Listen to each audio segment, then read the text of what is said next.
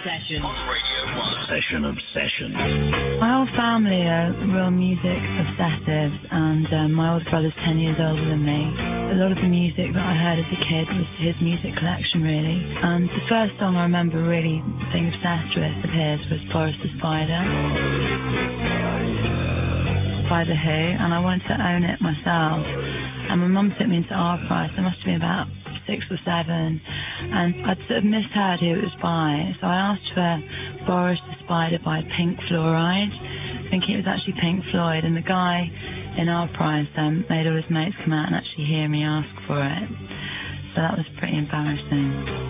So I guess that was actually my first attempt at purchasing something. Apart from that, I had and the Jungle Book album.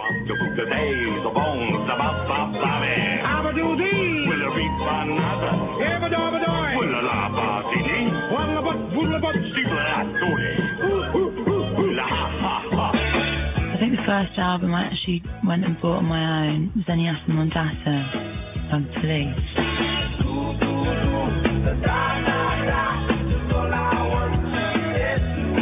I like to do do do da da da da da.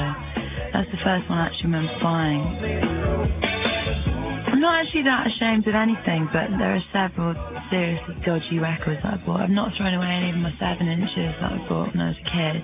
Probably the dodgiest is Shakin' Stevens' Green Door.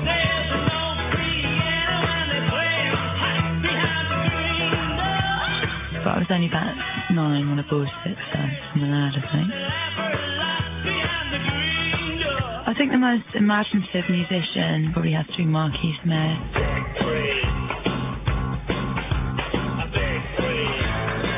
Because even though he's getting on a bit now and he's made 35 records or whatever, albums, um, he's still brilliant. And I can't believe anyone else who's got older and is still really good.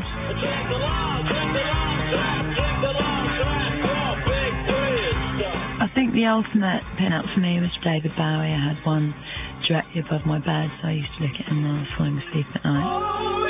Going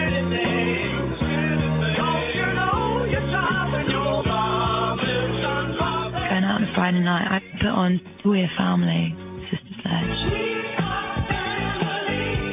Fantastic disco record. I think my favourite thing that Elastica's ever done is probably Line Up because that was the very first thing we ever recorded as a band and the demo that we did of it ended up on the first album and it was weird for me because it was the first time I'd ever heard us us actually recorded and I just thought it sounded brilliant so that's probably got a special place in me really.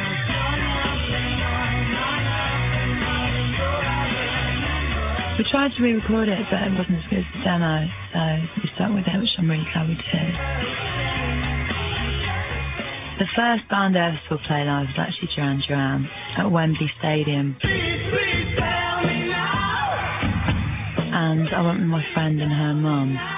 Even then, it did occur to me that Simon Le Bon could not sing or dance, to be honest.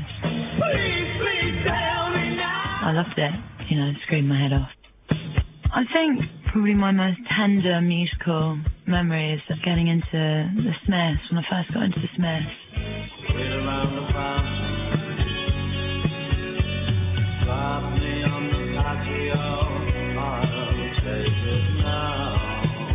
Reel Around the Fountain's got quite a special significance to me. I really love that song. The last album I bought was the Le Tigre album, which I really like. If I could recommend one album that I thought people, you know, didn't have, I mean, I would presume that quite a lot of people would have this, but if they didn't, I'd say I'm Kurious Oranj by The Fall. Because that was the first Fall record that really got me into The Fall, and I think it's the most sort of simple, raw version of The Fall.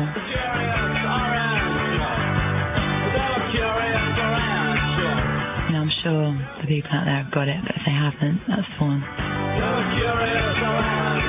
Session Obsession.